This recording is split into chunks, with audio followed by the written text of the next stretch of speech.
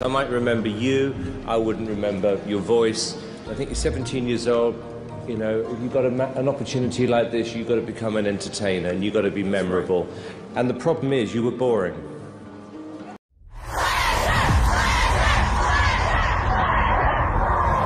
a lot of opinions were like, you're not going to get the big record deal. There's not a queer Taylor Swift. Played a show in in New York where there were two people.